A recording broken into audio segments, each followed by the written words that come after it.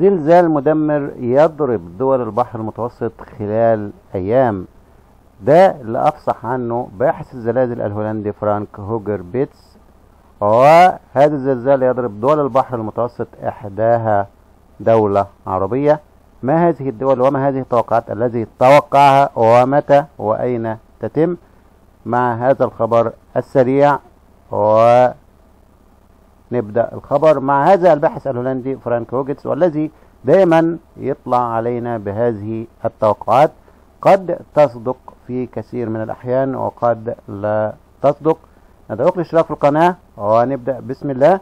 أكد الباحث الهولندي فرانك هوجر بيتس أن هناك حالة من التأهب لاحتمال وقوع زلزال مدمر خلال أيام قليلة أي في الفترة من 18 إلى 19 أغسطس الجاري.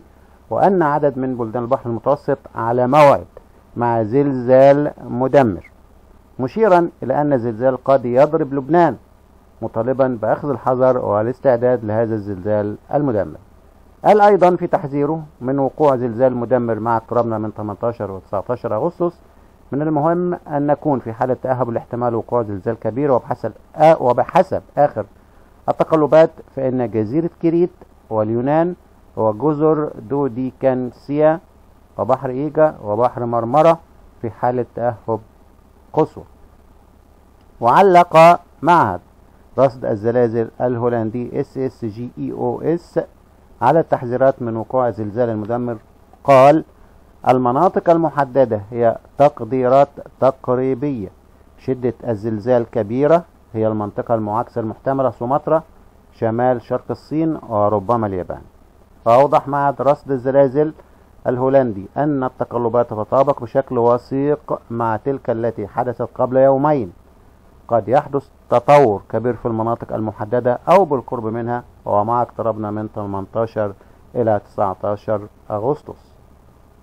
وجاء في تحذير معهد وجاء في تحذير معهد رأس الزلازل أن المناطق المحددة تقريبية شدة الزلزال كبيرة في المنطقة ألف هي النقيض المحتمل مع اقترابنا من 18 ل 19 أغسطس.